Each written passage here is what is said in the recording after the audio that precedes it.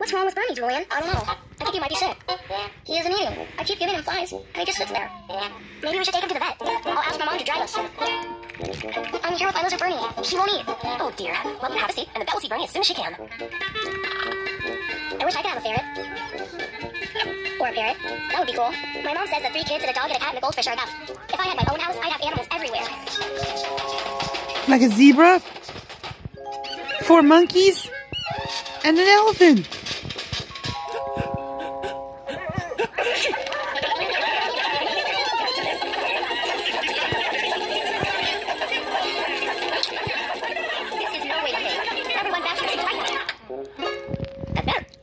Better. Wow, that's better. Wow, that's Harry, that's enough. Uh, Bernie the lizard, please. He just won't eat. What do you feed him? Flies. Hmm. Well, I think I know what's wrong. I'll be right back. Don't worry, Bernie. He's a very good doctor. Lizards love to eat flies, but I think Bernie might be eating them all the time. Like, if we had ice cream every day, we wouldn't want it anymore. We wouldn't? Something like that. Let's try a cricket. He ate it!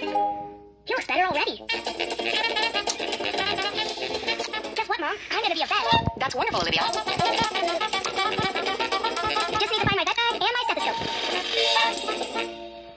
Definitely going to be a vet when I grow up. I'm gonna be dad. You can't be dad. Dad is already dad. Oh yeah. What are you gonna be, Julian? I just try to get through a day at a time, Ian. I'm going to start right now. How do you feel, Perry? Hmm, cold nose. That's a good sign. Now let me feel your tummy. Perry, you aren't done with your checkup. We'll definitely have vegetarian choices, Mr. Mason. Maybe pasta?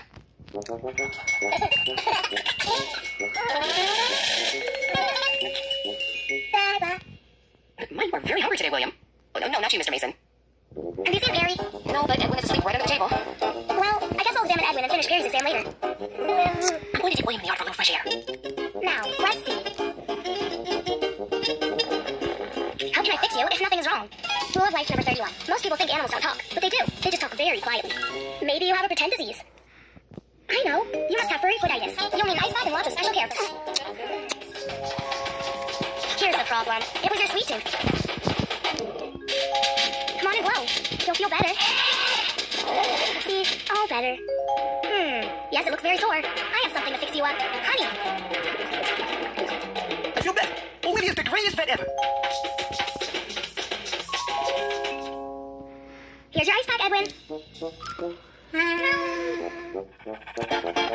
You smell like strawberry jam.